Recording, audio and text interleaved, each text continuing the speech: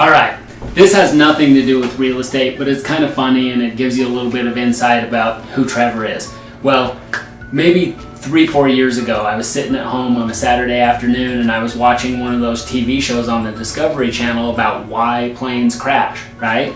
So we're watching the different planes and they crash and they talk about why it crashed and what happened and what's weird about this airport and everything like that.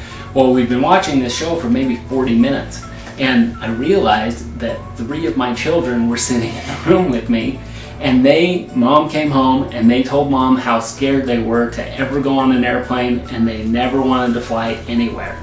And my wife kind of looked over at me and I thought, uh-oh, what am I going to do? so what we did is we planned a trip a, a, a, little later that year where we actually told the children we're going to take you on an airplane ride. And of course they were very nervous and scared at first.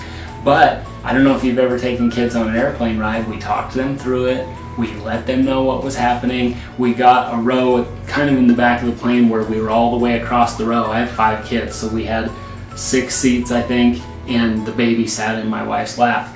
But uh, it was an interesting experience to be there and see the nervousness and not knowing what to expect out of each of my children's eyes. Now, of course, nothing happened on the flight. We didn't crash. We flew from Salt Lake to Phoenix and we had a wonderful vacation and we flew home again. And it was it was very interesting to me. By the time we were at the airport ready to get on the flight to come home, they all couldn't wait to get on the plane they all wanted to have the window seat so they could see outside and you know go through that experience and, and just being able to help them number one overcome their fear of flying right?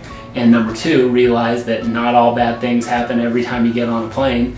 But um, to be able to have that teaching experience and show them what it's actually like and that it's actually very safe to, to fly on a plane was one of the things that uh, was an interesting experience as a dad.